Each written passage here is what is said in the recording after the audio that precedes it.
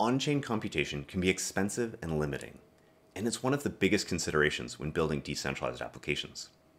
Oracles are commonly recognized for their ability to deliver data, but their utility extends far beyond that.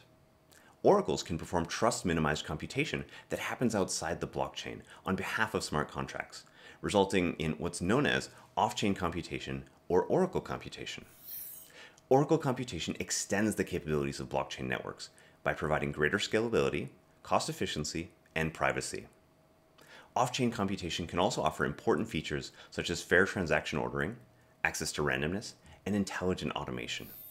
The Chainlink network provides a wide range of decentralized services enabled by Oracle computation.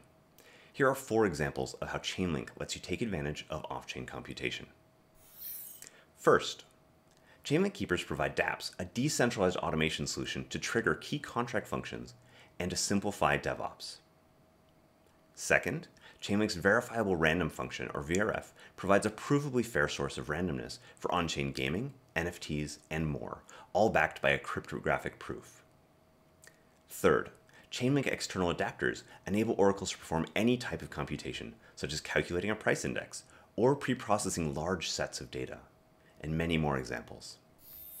Finally, the recently announced Cross-Chain Interoperability Protocol, or CCIP, will enable cross-chain computation, where smart contracts can send commands and assets across different blockchain networks.